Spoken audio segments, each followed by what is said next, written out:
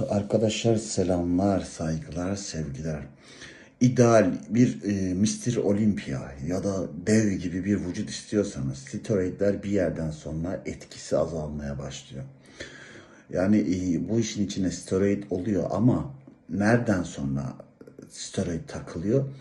Bunu bul- bulmak lazım. Mesela kişi 70 kişi 70 kilo spora başlayıp 85 kiloya e, steroidle gelebiliyor ortalama. 80 kiloya, 85 kiloya bu ikisi arasında gelebiliyor.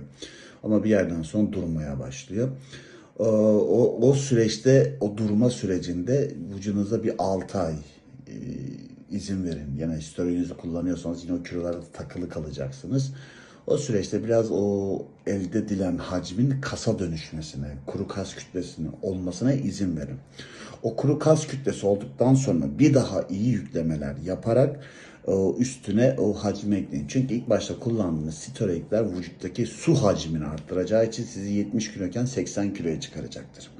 Ama böyle bir ortalama 6 ay bu sisteme devam ederek oluşan e, hacmin e, kasa dönüşmesini sağladıktan sonra ona bir daha bir su yükleyerek gitmeniz gerekecektir.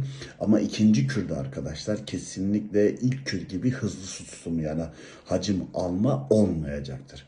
Bunu sağlayabilmek için peptitler burada çok önemlidir arkadaşlar. Hacim olarak gitmek isteyen kişilerin kesinlikle GRP-6 ve IGF'yi eksik etmemeleri gerekiyor.